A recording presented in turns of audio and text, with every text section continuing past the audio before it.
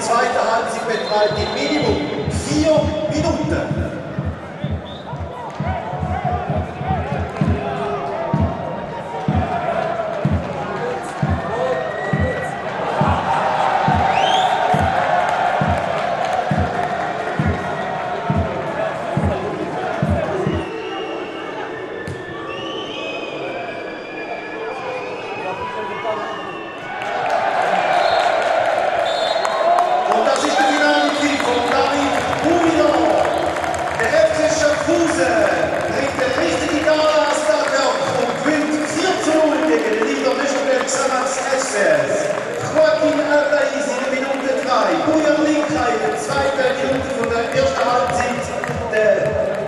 Francisco Domínguez en unglaublichem